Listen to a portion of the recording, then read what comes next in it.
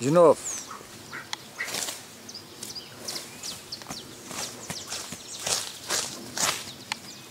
Vamos lá agora.